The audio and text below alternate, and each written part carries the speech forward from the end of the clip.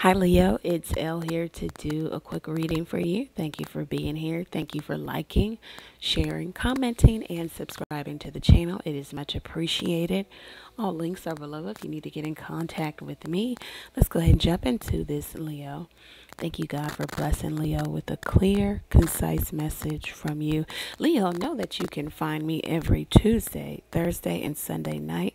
I go live, I answer questions, I do a collective reading. So if you have a question, find me live tonight. Tonight, today is Sunday at 8:30 p.m. Eastern Standard Time.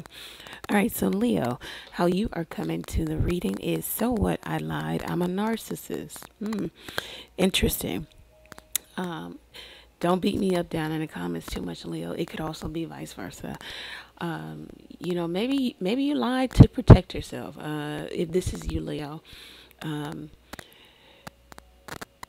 some of you now you know every leo out there isn't good and great um, but i know my leos that watch the the channel uh, that subscribe to the channel are um, so we'll talk about maybe the lying uh, maybe because you're trying to protect yourself. You're trying to protect yourself in terms of not getting hurt, not putting too much out there.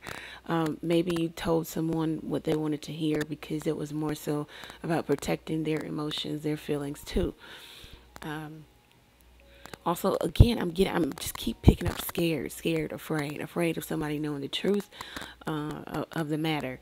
Uh, and then some of you, you just lie because you are a narcissist. This is what you you do. This is how you operate. This is how you move. Um, and maybe you know this about yourself and there needs to be some changed behavior. Um, you're at a place of maybe even accepting this about yourself because you're saying so what? I lied. Therefore you're not really taking on uh, the mindset of okay i lied i'm going to change but more so so what? I lied. This is who i am. I'm a narcissist. Um, i accept me. You need to accept me or not you know? Um, your person is coming to the reading as the fool. So I don't know. They may be wanting to go in a new direction, new development. They don't want to deal, okay? Or they want no strings attached to this. They or they want to sever tie or sever the sever the strings that are attached. Maybe somebody was doing cord cutting ceremony or somebody's just really trying to get out of this, whatever it is. Somebody's trying to go the other way, a new development, new direction. Um, someone understands that um, they're fine. They're fine, fit, fabulous. Okay, and they just need to really put themselves out there. Maybe even re-enter the dating market. Again, it's like somebody starting over. So your person feels like they're starting over. Um, maybe even spontaneously. We got the Fool card, the universe. I'm not the universe, but Uranus. Uranus. Um, is uh, governing the Fool card. Could be dealing with an Aquarius. So there's like an energy of uh, spontaneous, you know, being someone being spontaneous, or it was out of the blue, or unknown, or all of a sudden, you know, the energy of, okay, I'm done, I'm going the other way. Um, and now it's making either you or your other person, uh, Leo, is making somebody kind of um, fantasize, be in fantasy about maybe what they can say to get this person back. As maybe is making someone really feel that they weren't um, as committed as they should have been, that they procrastinated. There's a lot of wishful thinking, all because somebody is choosing to move on.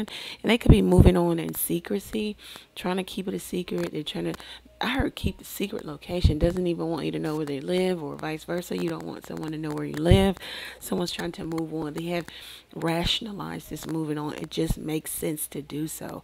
Move on from the hurt of previous relationships, move on literally, uh, a move out of the house. Uh, someone doesn't want the other person to know who they're dealing with, talking to, where they live.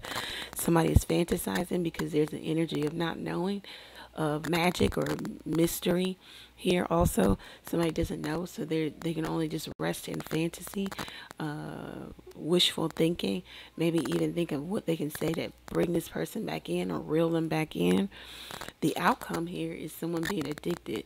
They're only addicted because they're getting left. Somebody is leaving. Someone has left. These are two Aquarius cards, so you could be dealing with an Aquarius, but there's an energy of somebody's leaving. Someone's finally put something to rest, and now there's an energy of somebody being addicted now, only because something has, its displacement happened, okay? Somebody left, and now they took with them the sunshine, okay? They took the happiness, they took the fulfillment. Um, there's a void.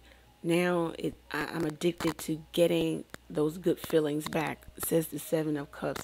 There could also be somebody drinking a lot, overindulging. This is hallucinogens. This is somebody who hallucin hallucinates. This is somebody who could be mentally, emotionally unstable. They can come unravel easily. This is somebody who's fragile mentally. The two, these two cards together. Um, somebody could be stable at one point and then they just, just go into a place of uh, instability. Um, but yeah, somebody's addicted. And it could even be addicted to substance. If not addicted to substance, then somebody's addicted to somebody's good nature because they don't possess it. Um, this is what I have for you, Leo. If it resonates for you, go over to the website, book your own reading there. You can always ask a question by texting it to the number below. You can uh, find me live tonight at 8:30 p.m. Eastern Standard Time. Uh, tonight, today is Sunday. Uh, you can also um, donate to the channel by clicking the Buy Elle a Coffee link. Thank you, Leo. Many blessings.